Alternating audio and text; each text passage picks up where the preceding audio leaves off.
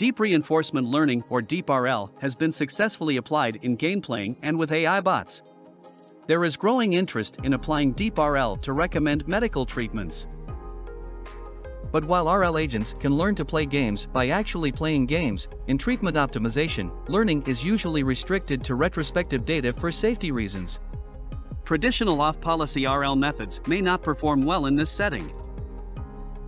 They could overfit to unseen treatments and give recommendations that are suboptimal or that deviate from clinical practice guidelines.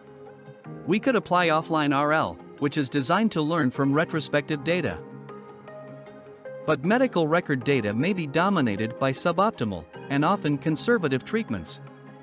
Offline RL methods could make overly conservative recommendations. Our solution is to apply offline RL, but trained on resampled data.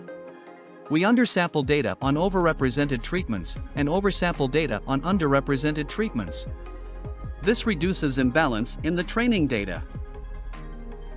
We tested our solution on both diabetes and sepsis treatment settings.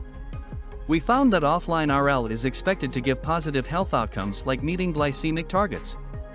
Negative health outcomes like complications or death are expected under off-policy RL and the standard of care.